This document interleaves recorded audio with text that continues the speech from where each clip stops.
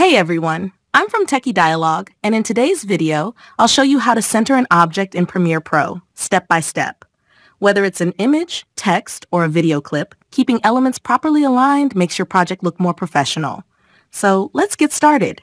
Before we begin, don't forget to hit that subscribe button for more helpful tutorials. Step 1.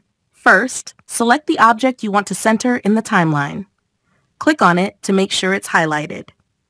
Then, go to the Effect Controls panel.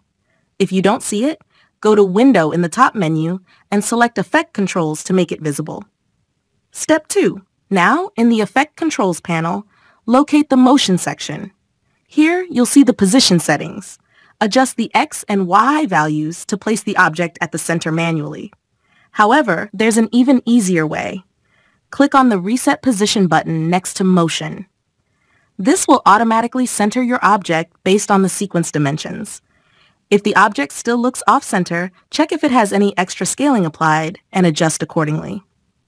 And that's it. Now you know how to center objects quickly and accurately in Premiere Pro. Thanks for watching, and I'll see you in the next video.